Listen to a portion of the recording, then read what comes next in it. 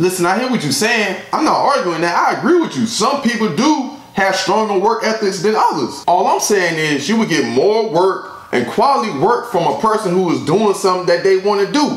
For example, I went to school, I had like two degrees, and I hated school. But if I liked it, my GPA would have been way higher because I enjoyed it and I wasn't just going to school because someone told me that's something that I should do. All I'm saying is, if we were all passionate and enjoyed stuff that we were doing, activities, work, whatever, we would be much more productive. That's it.